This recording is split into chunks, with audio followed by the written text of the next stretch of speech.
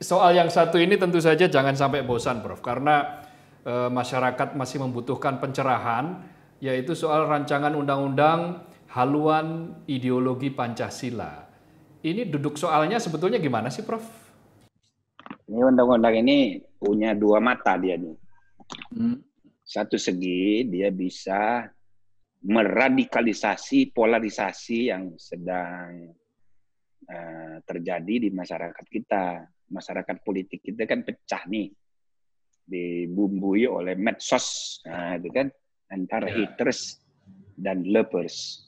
Hmm. Semuanya uh, benar menurut sisi yang satu, semuanya salah menurut sisi yang lain. Jadi, okay. jadi ini pertentangan politik ini yeah. bisa dibungkus menjadi makin radikal dengan undang-undang ini. Hmm. Jadi dia dia punya fungsi untuk menjustifikasi ideologis terhadap perpecahan yang ada.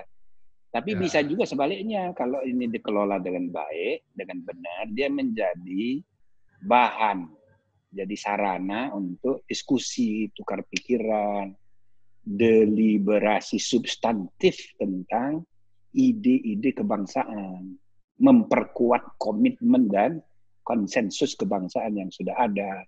Jadi kalau ini bisa dipakai, malah bagus ini. Ah. Nah, di dalamnya ada pertarungan ide-ide. Ya. Dan itu bisa dijelaskan secara terbuka kenapa begini, kenapa begitu. Apa hmm. sebab muncul? Kok ada Trisila lagi, ada Ekasila yeah. lagi? Yeah. Ini kan ide yang hidup, tapi di sebelah sana ya, pen, penolakannya hidup juga gitu. Nah, hmm. jadi saya sarankan RUU ini dijadikan bahan untuk dialog ide-ide daripada kita membiarkan uh, ruang publik kita ya diisi oleh dialog kebencian dan dialog kepentingan. Nah, hmm. sekarang ada kesempatan untuk dialog ide. Kan bagus ini. Cuma ya kalau bisa jangan cepet-cepetan kayak RUU Minerba kemarin mumpung lagi COVID langsung disahkan atas nama oh. prosedur formal hmm. jangan begitu yeah. jadi kita harus jadikan ini momentum untuk pendidikan politik yang lebih luas bila perlu ah. bila perlu gitu ya kalau misal tidak sempat tahun ini jadikan ini uh, undang-undang uh, ini disahkan tahun depan why not jadi hmm. jangan di tengah COVID karena di tengah COVID ini ada keterbatasan. Misalnya undang-undang cipta kerja, bagaimana buruh mau demo? Bukan tidak ya. boleh demo, tapi ada PSBB. Jadi ya. partisipasi publik sangat terbatas, apalagi deliberasi substantif. Nah, hmm. syarat demokrasi prosedural itu sudah terpenuhi, tapi demokrasi substansial jauh. Yeah. Nah, jadi kualitas demokrasi kita kalau sekedar formalistik gitu ngambil keputusan pakai zooming lagi, yeah. waduh.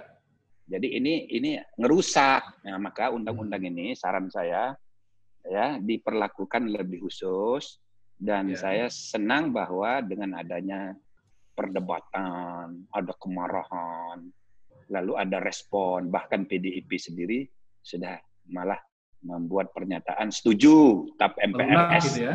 eh, tentang PKI dimasukkan. Ya. Pemerintah pun Menko sudah bilang kita jamin tidak ada itu Eka Silas, eh, tapi di dalam RUU-nya kan ada tertulis masalah. Iya, di draftnya kan ada itu ya. Iya, nah jadi intinya sudah ada ruang dialog untuk saling mendengar. Nah, ini bagus. Hmm. Artinya kan sebetulnya secara substansi undang-undang ini perlu. Kalau disiapkannya kan sudah lama ini. Saya hmm. udah dua tiga kali diundang. Ya, Cuman betul. saya saya melihat dari segi yang lain. Hmm. Saya sudah mengusulkan dan ternyata semua waduh memuji-muji saya itu antusias. Tapi pas saya baca di RU-nya nggak ada.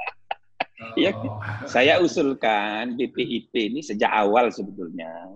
Yeah. Sejak awal berdirinya dulu sudah saya sarankan, tapi nggak dimuat kan Nah, hmm. tapi sesudah mau bikin RUU begini, itu kan sekaligus memperkuat basis hukum alas hak dari keberadaan lembaga ini yang hanya perpres ditingkatkan menjadi undang-undang. Maka saya bilang, bagusnya badan ini ditingkatkan jadi jangan kayak badan kayak eselon satu. Jadi dewan aja, Dewan Nasional Pembinaan Ideologi Pancasila. Tapi tambah satu kekuasaan kewenangannya dan itu harus dengan undang-undang. Ialah diberi legal standing untuk GR. Jadi nilai-nilai Pancasila itu saya usulkan jangan hanya dipidatukan, jangan hanya dididikkan. Ya. Kalau lembaga pendidikan kita udah punya Lemhanas untuk leadership training, nggak perlu lagi.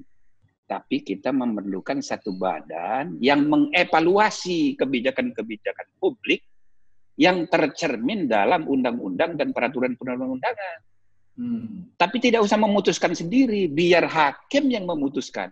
Tapi dia punya legal standing, menilai undang-undang, menilai peraturan-peraturan di bawah undang-undang, ajukan ke Mahkamah Agung, ajukan ke Mahkamah Konstitusi, biar hakim yang netral yang membuat putusan, tapi ada usaha untuk penataan hukum berdasarkan Pancasila dan Undang-Undang Dasar. Jangan biarkan satu persatu kasus-kasus orang per orang mengajukan judicial review, orang entah dari mana begitu, jadi kapan selesai kita menata sistem hukum kita berdasarkan Pancasila dan Undang-Undang Dasar?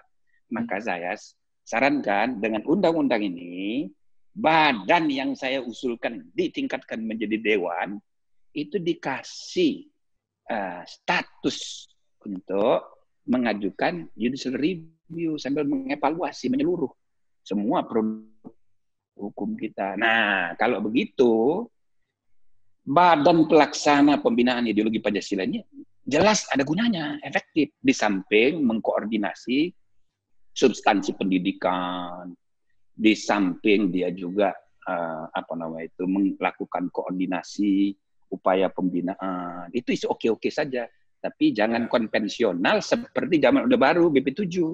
Jadi ya. saya sarankan ada evaluasi bersengaja terhadap nilai-nilai Pancasila dan Undang-Undang Dasar sebagaimana tercermin dalam public policy yang tertuan dalam bentuk perundang-undangan. Nah, jadi sekali lagi bukan putuskan sendiri, biar pengadilan yang memutuskannya, tapi ini satu persatu di dikorek. Nah, sehingga semua regulator itu berhati-hati membuat peraturan, termasuk ya. menteri belum tentu peraturan-peraturan yang mereka buat sesuai dengan Undang-Undang Dasar, sesuai dengan Pancasila. Nah itu saran saya.